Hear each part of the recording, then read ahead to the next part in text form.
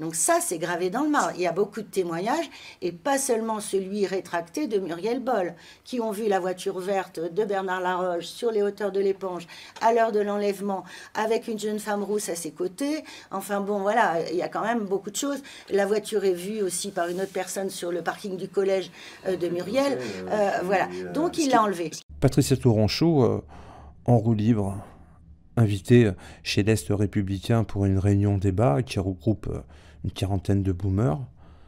Patricia Touranchot, en roue libre, qui nous explique que beaucoup de témoins ont vu Bernard Laroche et Muriel en haut de l'épange le 16 octobre avec sa voiture verte. Je crois rêver. Hein. De qui elle parle? Du croisement de Madame Claudon et Claude Collin? Ou de Déruder la veille hein? Avec un homme qui avait un visage déformé, hein, qu'on n'a jamais retrouvé d'ailleurs, et un fusil. Voilà quoi on a à faire. Moi je suis impuissant, je peux rien faire, mais voilà comment fonctionne euh, l'affaire. Elle a basculé dans le spectaculaire. Personne pour la reprendre, hein, puisque la moitié des gens ne connaissent pas vraiment le dossier. C'est donc ces personnes-là qui te vendent la bonne histoire.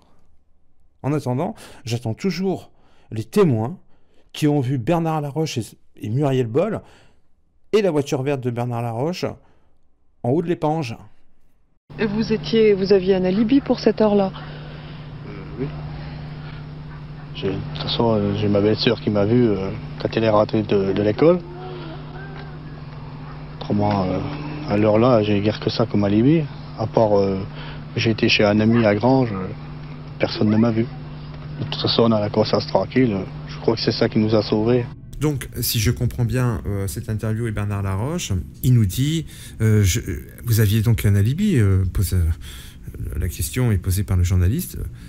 Et la réponse est J'ai garde d'alibi, sauf ma belle-sœur, quand elle est rentrée de l'école. Il rajoute d'ailleurs qu'il était à Grange chez un collègue, donc on parle de son cas, hein, maintenant on le sait. Donc à ce niveau-là, il ne ment pas, a priori, c'est assez spontané. Seulement, quelques heures auparavant, Bernard Laroche, dans son PV,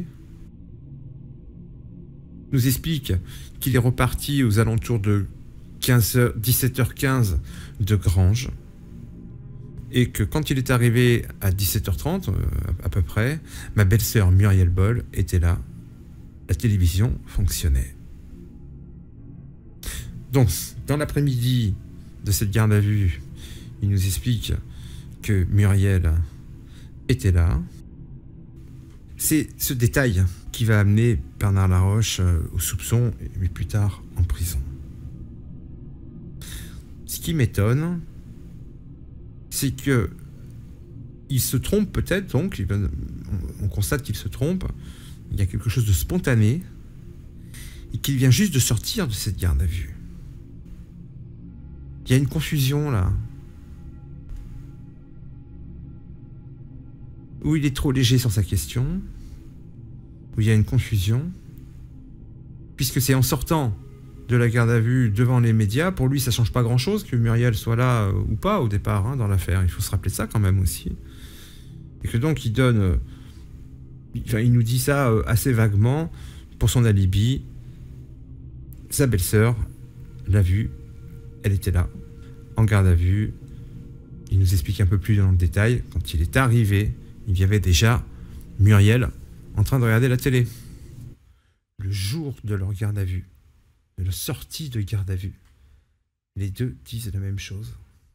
De toute façon, euh, j'ai ma belle-sœur qui m'a vu euh, quand elle est rentrée de, l'école. Je n'ai rien à voir là-dedans.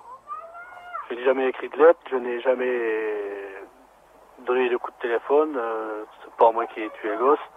Je ne sais pas comment j'aurais fait ça d'ailleurs. La famille Villemain, c'était des amis à vous C'était des amis, c'est des parents et des amis.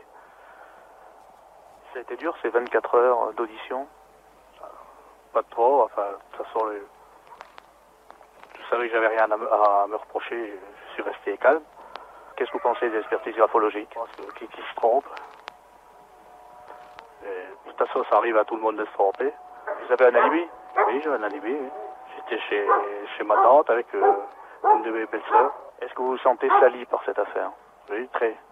Et je pense que ça va me, me porter à certains préjudices à l'avenir. Je sais que j'ai un cancer fraqué. Est-ce que vous vous sentez innocenté? Ou est-ce que vous pensez que les gendarmes ont encore des soupçons sur vous?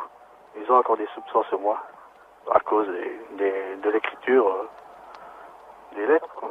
Ils ne sont pas convaincus que ça ne peut pas être moi. D'après les experts, euh, c'est moi.